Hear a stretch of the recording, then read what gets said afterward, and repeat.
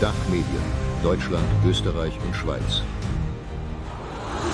Am 17. Februar 2024 beschloss die EU den Digital Services Act, der Plattformen bestrafen soll, die Inhalte im Netz nicht gründlich genug löschen. Insbesondere gegen Hassrede und Desinformation will man vorgehen, wobei die Definitionen schwammig sind. In Deutschland wird zur Umsetzung dieser Maßnahmen aktuell das Digitale Dienstegesetz im Bundestag beraten.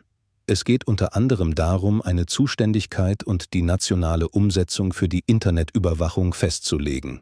Die EU verlangte von allen Mitgliedstaaten die Benennung einer dafür zuständigen Aufsichtsbehörde. In Deutschland wird die Bundesnetzagentur die dem Wirtschaftsministerium von Robert Habeck zugeordnet ist, von der Bundesregierung für diese Aufgabe vorgesehen. Rechtlich gesehen kann allerdings nur der Bundestag diese Zuständigkeit festlegen und muss die Behörde per Gesetz mit einem Auftrag ausstatten. Das gebietet schon das Rechtsstaatsprinzip. Ein dahingehender Gesetzesentwurf lag dem Bundestag am 18. Januar 2024 in einer ersten Lesung vor ist allerdings noch nicht beschlossen und wird noch beraten. Doch das wollte man im Wirtschaftsministerium einfach nicht abwarten und beschloss den Bundestag kurzerhand zu übergehen. Der Präsident der Bundesnetzagentur Klaus Müller sagte dem Spiegel Anfang März, man würde bereits Hinweise auf Verstöße gegen das DSA sammeln und an die zuständigen Funktionäre in Brüssel senden.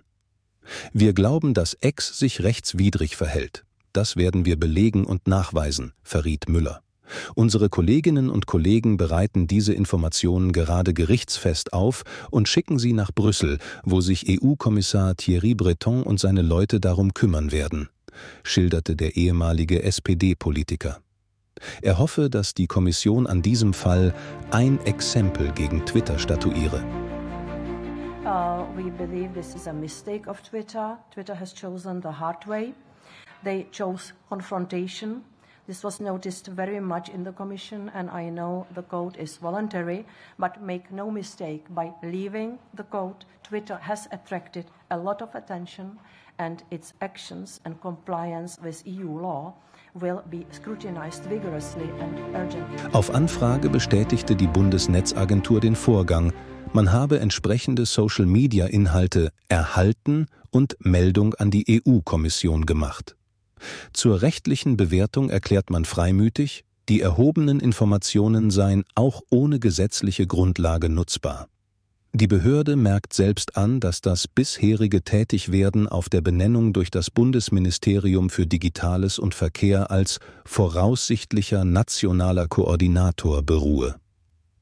Voraussichtlich, weil die gesetzliche Grundlage eben noch nicht verabschiedet wurde. Des Weiteren gibt die Bundesnetzagentur zu, dass die Benennung vorbehaltlich des Abschlusses des parlamentarischen Gesetzgebungsverfahrens erfolgte, also bevor der Bundestag die Bundesnetzagentur als Aufsichtsbehörde einsetzte. Dennoch sieht man sich offenbar befugt, einfach ohne gesetzliche Grundlage tätig zu werden und großflächig Postings im Netz zu durchsuchen, zu sammeln und an Zensoren der EU-Kommission zu übermitteln. Wenn Ihnen das Video gefallen hat, würden wir uns über Ihr Like und Abonnement sehr freuen.